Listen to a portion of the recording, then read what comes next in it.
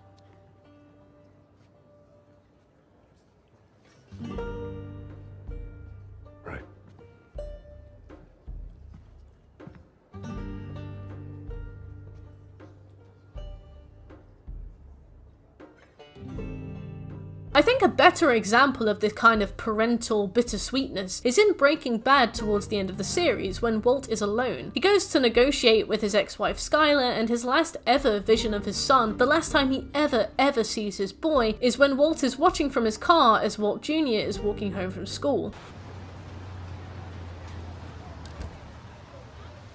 It is the most subtle but bittersweet moment of a father silently watching his son, knowing he will never speak to him again, knowing that his son hates him for making choices he believes were for the best. It's a perfect parallel to Joel and Ellie. It's quiet and it's quick, but it's heartbreaking. I feel like that's the same feeling the writers go for with Joel, but it's too dramatic and too silly to ever be a quiet, sad moment of loss. They just don't trust you as the player to be able to consume those moments. They need to emblazon it in front of you. They need to absolutely absolutely stamp at your forehead. They don't trust you to be able to watch a quiet, subtle scene and understand what's going on. So instead we get these stupid, like over dramatic scenes instead, where he looks like a battered dog and Ellie shouts at him. On the topic of Ellie, her transition from the first game comes off as hugely inorganic. At the crescendo with The Last of Us, she acts out of self-defense and the defense of the people she cares about. Her actions are rooted in love. In The Last of Us 2, she is hatred embodied. She goes against everything she's ever stood for and starts actively murdering murdering people with so little motivation, she barely needs a kick to get started. She seeks people out and murders them in a situation the game has somehow contorted into self-defense, and then cries about it like she never intended it to happen that way. Ellie, you hunted somebody halfway across the country and held their friends at gunpoint. You have to imagine that this was on the cards. She's written now as a hot-headed moron, and any affection I had for her character had long since evaporated by the end of the game. This was such an unnecessarily disrespectful story, both for her and Joel, as we watch a genuine bond get flushed down the toilet in favour of shocking scenes and Oscar bait bullshit. In some interviews, I remember hearing that Druckmann wanted Ellie to be a drug addict who couldn't kick the drug of revenge. At what point is it ever shown to be like a drug for her? She is PTSD ridden, she's never enjoying it, she never has a high from it. This isn't Doom Eternal, she's always worse for wear every time she kills somebody. There's never a point where we see her relishing in it, and if she was relishing in it, why don't we see that? It's such a weird projection on his part, how he somehow finds this reasonable, something that people people watching will relate to. It's so telling about Druckmann himself and his own projections of what a daughter out of revenge would look like, the idea that this revenge addict could ever be relatable to the average player is just absurd. In part one, Ellie is willing to give her life to see the goal out, the collective goal of humanity. Why is a selfless person like this now obsessed with ruining the lives of everyone who comes into contact with her negatively? I see her beef with Abby, fine, that's legit, but she makes a list of all of Abby's accomplices and ticks them off one by one. Who does that? I remember in the the final scene of the first game, she looks at Joel and says, With everything we've done, it can't be for nothing. It was poignant, this idea that, yes, largely, their whole journey did come to nothing. Their ideals of saving humanity were nowhere in the end, that's fair, but it was a story of real love between a parent and a child and a horrible dystopia. Their journey came to nothing, but there was so much of that had been built between them that you couldn't possibly argue there truly was nothing by the end. Yet, in part two, we see her go through everything only to set Abby free at the end and lose everything. It is really for nothing, which could be an interesting take, I suppose, but I honestly don't believe that this was the writer's intention to strike this parallel between the first and the second game. Why have we given these two characters each other only to just spend a game ripping them away from one another, just stamping on your toys in front of you and telling you you're supposed to be annoyed because that's the point of the story and therefore you can't criticize it for annoying you? What was the message here? Ellie goes on a 14 hour revenge binge for the death of a character she's openly vilified and hated for the last five years. She's rejected him ever since she heard that carefully carefully placed recording. And yet, as soon as he's dead, she murders people for him, this poor miserable old sack of shit who she's actively bullied away from her for years, as though avenging his death is something that will help. But surely the message should be, if anything, not to bully those people in the first place, to forgive, to let bygones be bygones, but he killed people for her. To not ignore someone for half a decade and then suddenly be sad when they die? I mean, he prevented humanity finding a cure, but he could have clocked it at any second during those five years and suddenly she now gives a shit. It was too contradictory. I understand understand why she's annoyed at him, but I don't understand why she feels justified in killing him for him after he dies. Their relationship is too fractured from what we see, but all of a sudden she goes cross-country murder spree for him? I don't believe that was the intended message either. I mean, for anybody ready to say, oh, that's the whole point, to be thankful for the time you have together, because it's certainly not the message that they drive home with Abby and her dad, or Abby and Owen, or Owen and Mel, or Lev and his sister, or Ellie and Dina, or Dina and Jesse. It was just a domino line of deaths with bullshit levity. Joel did a bad thing, sure, but fucking hell, Ellie, put it behind you, or don't be upset enough when he dies that you kill a football stadium's worth of people. Pick your side, you know, come to terms with your feelings or fuck off. I genuinely don't believe that this game was held up to be a mirror to Ellie's characterization in the first game either, but rather some weird depressing story where they flexed their writing muscles and just tried to be generally upsetting. Because most importantly, we never understand how Ellie went from being a selfless and accepting person to becoming a person consumed with revenge and hate. There is just not enough there for that to be believable. It's not something we see with Tommy either, whose character gets gets assassinated, assassinated. Not even just between the two games, but also between the start and the end of The Last of Us 2. Tommy, a loving family man and a happy brother, goes out by himself for a lone wolf thing, obsessed with revenge. He loses an eye, his mobility, and a wife, although that last one wasn't much of a loss, she was a bitch, but still. What's more is that Tommy and Ellie repeatedly split up despite having the same goals and both go on parallel journeys. I have no idea why they did that. I guess he's the parallel to Ellie and he's there to teach her a lesson, but that's not a lesson we see thematically, and it's not one that Ellie learns, so it doesn't matter. The moment he snipes Manny is really cool. The visual where he's walking, aiming down the sight in game, that's sick. But it was done in the first game, in that terrifying sequence where you need to skip past the sniper in the cul-de-sac. Everything in this game is just straight reused from part one, so you can't really give anything credit. Every time something good happens, you have to ask, is it an homage, is it an unintentional copy-paste, or a straight-up reused concept? What a fine line to walk, Naughty Dog. I feel like this game just says, you know what'll be sad? If we just break your toys and then sits back and watches you go through the motions of watching beloved existing characters do wildly dumb things for the sake of pushing a half-baked plot forward. The new characters were pretty sound though. The best characterization, and consequently the best parallels I saw between characters, were between Abby and Lev. I loved the way those two bounced off each other, and I especially loved the way their ways of life were alien to each other, but also shockingly similar. There's a moment where Abby makes judgment of Lev for being a child soldier, not realizing she herself kind of is one. I guess it's easy to see a child soldier as a kid with a rifle, but there are loads of units in the military, and Abby is trained as a field medic herself, so in a way, she kind of was raised as a child soldier. Just a different kind, one in a more modern, recognisable military system that we assume to be for the betterment of the people within, rather than an alien concept of distant island based cults like the Seraphites. Moreover, she's trapped in the wolf system too, and has been since the end of The Last of Us 1, technically, so in a way, she herself has been groomed to be part of a military operation she has no idea the true extent of. She is an affection to meet her ends, of course, to eat and live live and be safe, but by contributing to the faction, she is furthering their ends too, wiping out other factions with whom she has no beef. I thought that was clever, those subtle parallels, and I really liked them. I thought they were done very well. Still, I've seen a lot of people say they appreciate this game because it tried new things, and it didn't pander, and it didn't do what people wanted, and it wasn't a happy ending. But I think it's easy to confuse respect with appreciation and quality. Personally, I don't think pushing the all, retconning tons of characters was something I respected or appreciated, and I don't think it necessarily reflected a quality back to me. I just kind of finished the game wishing it hadn't been made in the first place. So just looking at the script, I know this is going to be one of the longest videos I've ever made, but I promise I really tried to keep this short. I really, really trimmed this down. Essentially, my feelings boil down to one thing. I don't think this game needed to exist. Personally, I found a lot of closure with the ending of The Last of Us. It sat with me for a really long time until one day I decided that Joel and Ellie moved on with their lives and they lived to be old and the world kept spinning. And yeah, sure, it wasn't exactly realistic, but it kept me from going over it in my mind because I just couldn't stop stop thinking about it. Between that closure and Druckmann's desperate attempt to contort out a controversial experience from an idea he had over a decade ago that was rejected by someone smarter and more talented than him, I will admit I was biased against the sequel from the start, but that doesn't mean that there'd have been a sequel I'd have been unhappy to see. And I also don't want you to think that I necessarily dislike Druckmann as a person. He has gotten a lot of unnecessary hate for this game, and he definitely didn't deserve a lot of the abuse he received at all. I don't think that he should have been bullied in any capacity for what he wrote. I just don't think what he wrote was very good. Like, nothing against him as a man, but, you know, as, in terms of craft, I just think it was a bit trash. This game just caved in the head of one of the most impactful characters of my childhood, and then looked at how annoyed I was and condescendingly said, that's the point. You're supposed to be annoyed. If you're annoyed, then I've succeeded, and therefore you can't criticize me because it was completely intentional that you felt this way. I've seen a lot of people say, of course he died for nothing, that's just how people die, and I agree. In terms of a death, getting smashed in the head with a golf club is just as likely an ending for Joel as dying in his sleep. People die for nothing all the time, but he didn't die for nothing nothing. He died for controversy at the hands of a writing team that wanted to see how depressing they could write a story and whether or not they could get people on Abby's side in the aftermath. The Last of Us 1 is a story about love, Druckmann once said in an interview, but The Last of Us 2 is a story about hate. Yeah, well I guess that is valid since that's pretty much how I felt about both installment respectively. Thanks Druckmann. And thank you for watching my review. If you enjoyed it, please like, subscribe, comment, I'd love to hear your thoughts about this. Again, these are my own opinions. Please don't be too nasty about it. By and large, I, hope you enjoyed the video. It means a lot to me if you stuck it out this far and I really appreciate anybody who's still listening now. If you want to see me play games in real time, check me out on Twitch, which will be linked in the description below, and have a really good day. I'll see you guys later on, and thank you again for watching.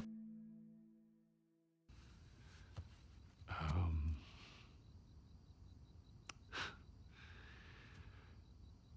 what is the downside to eating a clock?